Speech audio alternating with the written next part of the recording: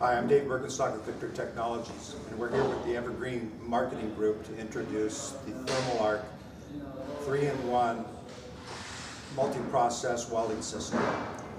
It's a 3-in-1 machine.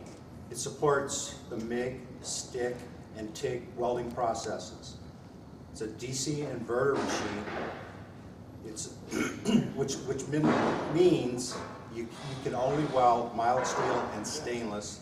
You cannot TIG weld aluminum with this machine. That's, that's a critical feature to remember.